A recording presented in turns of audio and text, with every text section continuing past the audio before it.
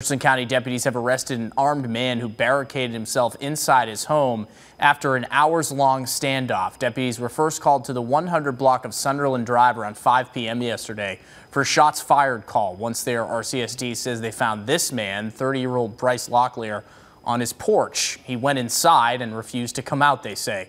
The department's special response team responded and deputies tried to negotiate with him for hours to no avail. Early this morning, he emerged from the home again with a rifle, fired around, and went back inside, deputies say. RCSD deployed gas to get him to leave the house.